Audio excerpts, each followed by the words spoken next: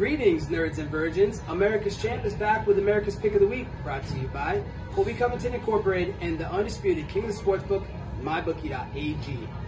California is usually known for being a liberal dumpster fire ran by crooked politicians, but this weekend it's the site for UFC 270. They love free shit over there, so in the spirit of California, MyBookie is giving away a risk-free $20 bet on the Gane Francis matchup. I know, it's crazy, but this is even easier than following Nancy Pelosi and her insider trading on Wall Street. Just take Ciryl Gane, enjoy the free $20 bet, and don't say the People's Champ never did nothing for you.